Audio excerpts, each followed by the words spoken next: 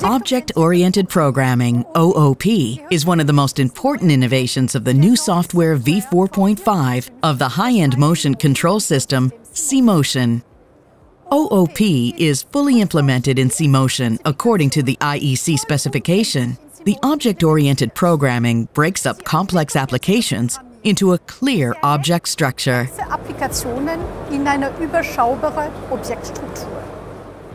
Thanks to OOP, the software precisely reflects the structure of a modular machine. Exakt wieder. What are your advantages?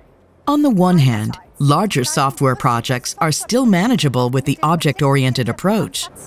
Übersichtlich. On the other hand, the machine constructor can better standardize and reuse software modules thanks to libraries. Standardisieren und wiederverwenden. Consequently, programming and test expenditure, as well as error rates, are significantly reduced thanks to inheritance and overwrite mechanisms. OOP helps SIMOTION to foster its modularity advantages and increase efficiency when implementing software projects. The second important innovation of the version 4.5 is the implementation of a OPC UA server in the SIMOTION software. This becomes ever more important in the context of heterogeneous production plants and increased data exchange.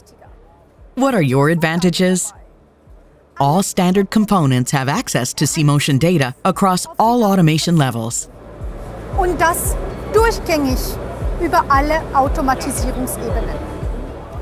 Thus, OPC UA allows for an efficient vertical data exchange with HMI, SCADA, MES, and ERP systems of different manufacturers to the cloud, the basis for Industry 4.0.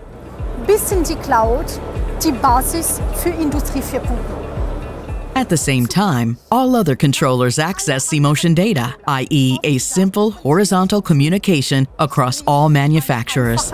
Horizontale, herstellerübergreifende Kommunikation.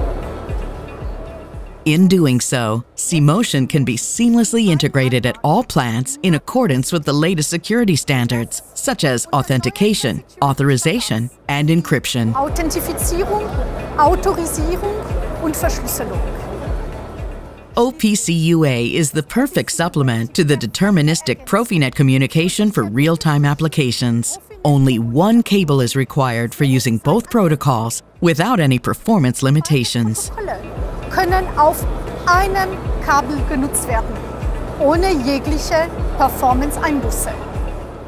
With OPC UA on board of SIMOTION, users are already prepared for the further progressing digitalization in the industrial environment on the way to Industry 4.0. Industrieumfeld auf dem Weg zu Industrie 4.0.